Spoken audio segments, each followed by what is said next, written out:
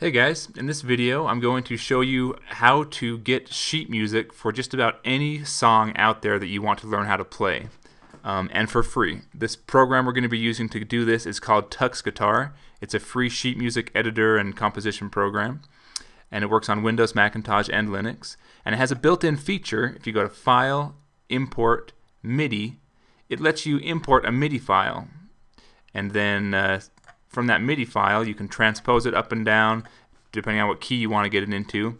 And then it shows you all the notes for that MIDI. You can play it and just listen to it and go along with it as follow along with the music like this. So it's got some percussion, a percussion track down here. It's got a bass. It's got some guitar chords. And we've got a trumpet right here. So yeah, um, this song, if you're familiar with it, maybe maybe not, it's uh, Gerudo Valley from Zelda 64, which is pretty cool because it's a Nintendo game song, so it's kind of hard to find sheet music for it.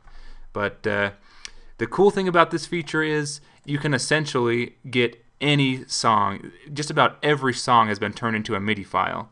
And so what to find music, you just go to Google and type in whatever you want. If you want to get a song like Back in Black by ACDC, but you want the MIDI file of it, just search Back in Black ACDC MIDI, and then just about any one of these sites is going to have a MIDI file you can download. Here we go. So if I just right click, save link as, and I can save it to my desktop if I want to.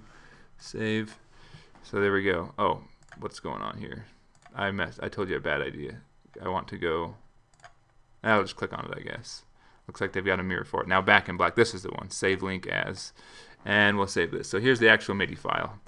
So now I've got this MIDI file here on my desktop and all I have to do is tell Tux Guitar to import it, import MIDI. It's on my desktop and it's called ACDC Back in Black. I won't transpose it.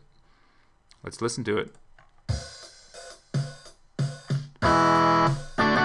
Whoa, that's the drums.